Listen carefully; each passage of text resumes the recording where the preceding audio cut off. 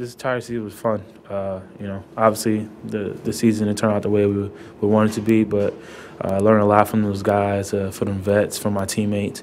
Um, and I feel like you know I grew as a person, as a player, um, definitely as a player on the field. I'm seeing the field differently, understanding the game, um, and you know I look forward to you know watching watching film in this game, watching film myself from this year, and uh, figure out how I can take it to another level. Saquon, while you guys didn't meet the team goals, what does it mean for you to reach these historic milestones?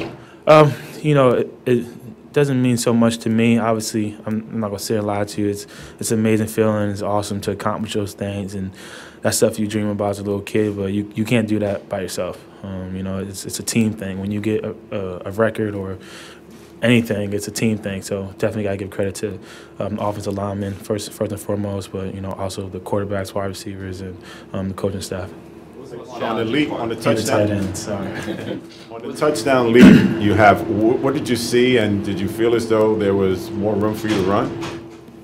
Probably. Um, you know, to be completely honest, um, right there, I, I kind of made my mind up before what I was going to do. Um, I was just trying to think, you know, get an end zone by any means necessary, and um, thankfully I got the ball over. Got to be a little bit more careful there.